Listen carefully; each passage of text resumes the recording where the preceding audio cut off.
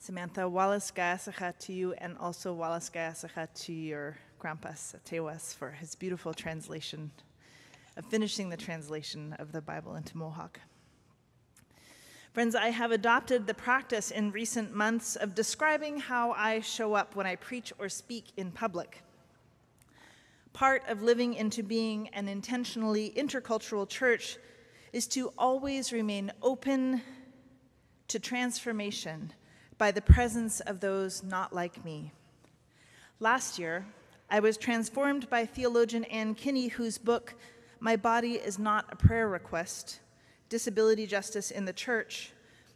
Uh, I know many of you have read and studied that book across the church. I had the pleasure of taking the stage alongside Amy as a speaker at the 2023 Evolving Faith Conference in Minneapolis. She described how she was physically showing up so that those who were blind or sight impaired might have a more fulsome experience gathering together as church. So, I am approximately five foot nine. Although I used to be five foot ten, I think I've lost an inch to sitting too much at desks as an adult. I have ear length dark brown hair, increasingly graying. Uh, it's straight and in an asymmetrical haircut. Chunky, square shaped glasses, which, together with the church, I'm trying to discern if they're purple, blue, or somewhere in between. I'm wearing my white alb, which I dry cleaned especially for the occasion, and I'm wearing a beautiful stole. Um, you'll see all uh, many of us that are involved in the service today are wearing matching stoles in celebration of this kickoff service for our centennial that was made by the amazing Susie Henderson.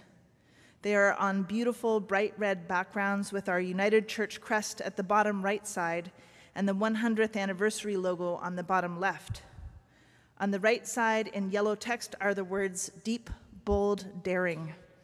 Et sur le côté gauche se trouvent les mots profonde, dynamique et audacieuse. Four ribbons of color swirl down from the left shoulder over both sides of the stole. Three of the ribbons are black, white, and yellow, the other three colors of the medicine wheel.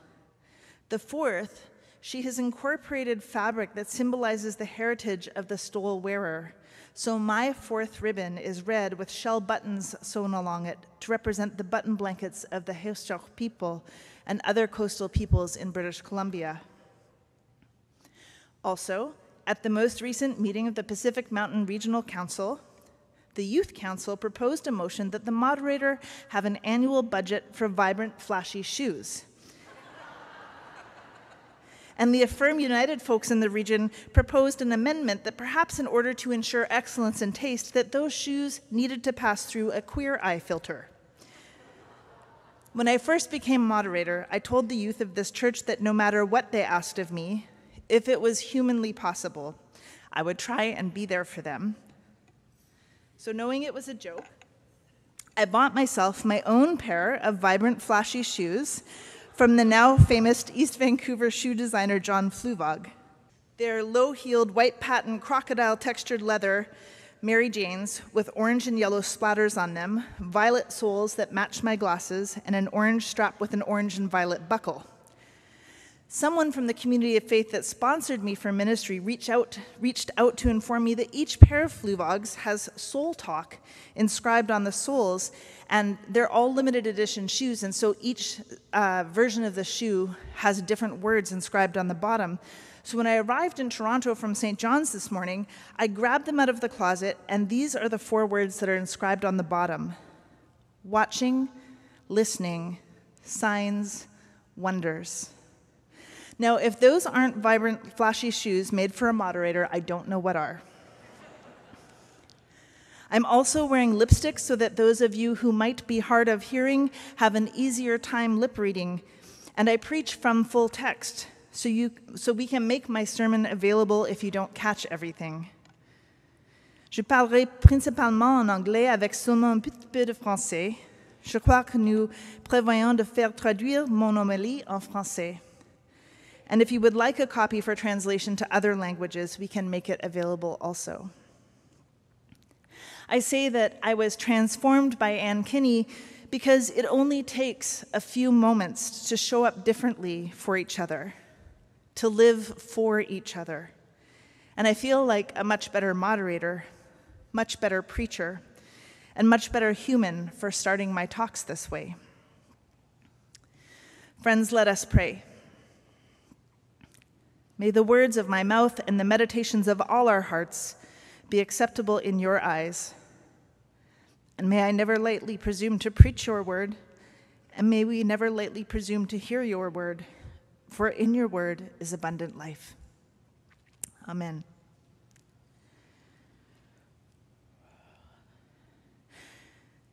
We believe in the one only living and true God, a spirit, infinite, eternal, and unchangeable, in the God's self being and perfections, the Lord Almighty, who is love, most just in all ways, most glorious in holiness, unsearchable in wisdom, plenteous in mercy, full of compassion and abundant goodness and truth.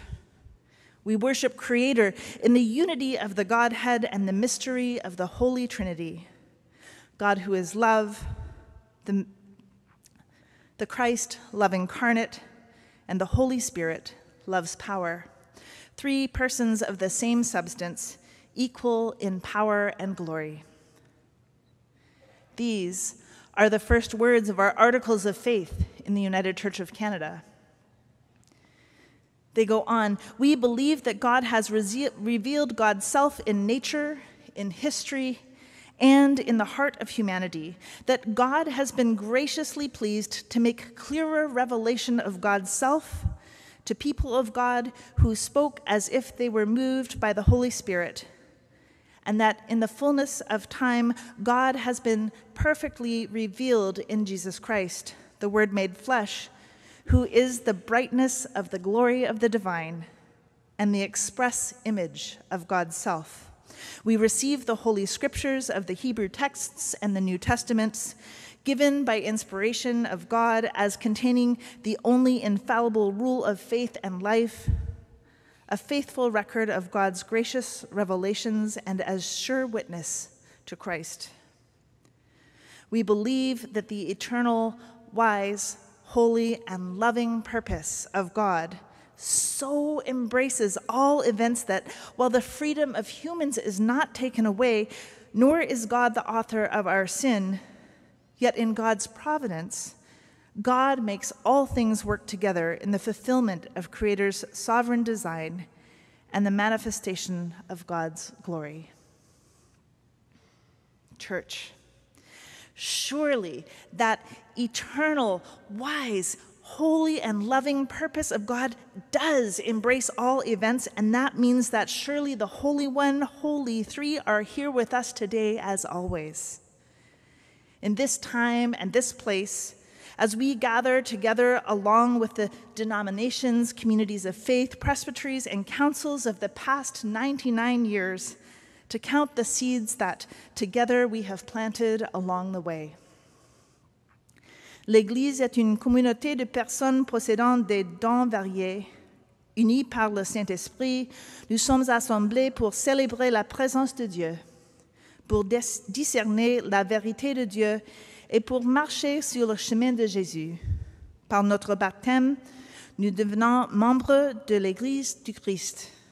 Nous vivons cette appartenance au sein d'une confession chrétienne à laquelle nous appartenons pour nous, l'Église unie du Canada. The church is a community of people with varied gifts, united by the Spirit. We gather to celebrate God's presence, to discern God's truth, and to follow the way of Jesus. By our baptism, we are made members of Christ's church. We exercise this membership in the denomination to which we belong, which for us is the United Church of Canada. Samuel Dwight Chown became the general superintendent of the Methodist Church in Canada in 1910. He was a champion of the social gospel and of church union, and later became known as the architect of our church union. Professors Don Schweitzer and the Reverend Dr. Hyeran Kim Cragg have pulled together a beautifully rich volume on the history of the first 100 years of preaching in the United Church of Canada which is in the final processes of publication, I got an advanced opportunity to read the book because I the wrote the foreword. It's good to be the moderator. And in it, they included a sermon that Chown preached in 1912 to a Methodist gathering. And when I read his sermon, I thought, I could basically take this sermon and change very little. I could preach it today, and I would still be speaking God's word to us about the changing times in which we find ourselves. Since I started my own sermon with the first three articles of our faith, I wanted to share with you an important excerpt from that sermon. Chown wrote, At the very first meeting of the Church Union Committee, I suggested that we should sit down first and decide what the Church of Christ was, or what the Church of Christ was in the world for, and to do this to the satisfaction of all parties. Next, we should decide what is necessary to be believed to enable the church to do its God appointed work. After that, we should permit all other questions to be viewed by the people as they might choose in the full exercise of personal liberty. I still think we shall have to approach this ideal. The idea seemed to take the committee for a time, but soon the old creedal instinct asserted itself, and the dear brethren, and they were all brethren, settled down to the formulation of a scientific creed. And I sat and, and admired their dexterity, but had comparatively small interest in the result. The theology of the basis of union never caused the members of the committee very serious concern. Matters of administration were much more difficult to handle. The result is a good, workable creed, quite conservative in spirit, but a creed the whole of which no one member of the committee believes. For while each article was carried by a majority vote, no single member voted for every article of it. We have also a creed which may have as many meanings as there are people who say they believe it which is a very happy circumstance because it accords with the original purpose of creeds, which was not to control the faith of the individual, but to express their untrammeled convictions. Our gospel text this afternoon tells us the hour has come for the child of earth to be glorified. Very truly, I tell you, unless a grain of wheat falls into the earth and dies, it remains just a single grain. But if it dies, it bears much fruit. Those who love their life lose it, and those who hate their life in this world will keep it for eternal life. Whoever serves me must follow me, and where I am, there will my servant be also. Whoever serves me, the Creator will honor. What more beautiful expression than grains of wheat falling into the earth and dying to bear fruit, than the committee of faithful, discerning people who wrote our articles of faith. And from the prophet Isaiah, do not remember the former things or consider the things of old. I am about to do a new thing. Now it springs forth. Do you not perceive it? Chown said the result is a creed the whole of which no one member of the committee believes. For while each article was carried by a majority vote, no single member voted for every article.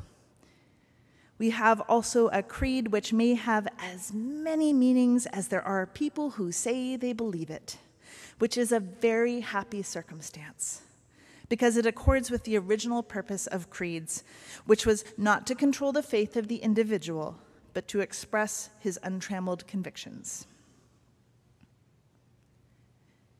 And there is no way, not in 1890, 1910, 1912, or 1925, that Chown or anyone else would really be able to predict this beautifully diverse church of deep spirituality, bold discipleship, and daring justice. That our church founders had the foresight and vision to know that we would need new expressions of our faith and that our basis of union would include the possibility for each generation of the church to express again its faith anew, which we did in the Statement of Faith in 1940, a new creed in 1968, and a Song of Faith in 2006. Together, we hold beliefs that may have as many meanings as there are people who say that they believe them. What a beautiful tradition we have in this united and uniting church of ours. This next year will be a time of commemoration to recognize and honor all of the legacies of our first 100 years together as the United Church of Canada. So many, but not all, of those legacies are good. And one of the things I love about our church, the thing that makes me stand here in this pulpit today and in pulpits across the church from coast to coast to coast as a woman, as an Indigenous woman, and as the granddaughter of a residential school survivor, the things that allow me to claim any conviction or faith at all is expressed so perfectly in John's gospel. And Jesus said, Now my soul is troubled. And what should I say? Creator, save me from this hour? No. It is for this reason that I have come to this hour. Creator, glorify your name. Just because we are troubled by current and past circumstance is no reason to stop following in the ways of Christ or to stop striving to be the church in Christian community with and for each other. I take great comfort, and I hope so will you, that never has the church fully or perfectly known how to become the revelation of God's love for the world. Our journey has proven, both in spite and because of God's redeeming grace, that our human tendency to sin, to oppression, to domination of the other, can never be the full expression of what it is the divine intention for us being in Christian community. God is always saying to us, Look, I am doing a new thing. Can you not perceive it? God is always calling us to set aside our human fallibility and make space for each other, to make space for love. No matter what the future holds for this united church of ours, I know that it will not be perfect, just as the first 100 years were also not perfect. But I know the ways in which we look for God's promise and the ways that we come through the hard parts of life in Jesus' footsteps are all to the glory of God's holy name. And so I want to end with an adaptation of part of a prayer by the late Trappist monk Thomas Merton. Oh God, we believe that the desire to please you does in fact please you, and we hope that we have that desire in all that we are doing. We hope that we will never do anything apart from that desire and we know that if we do this, you will lead us by the right road, though we may know nothing about it. You call us, sometimes loudly, sometimes in soft whispers, to make room for love. May it be so. Amen.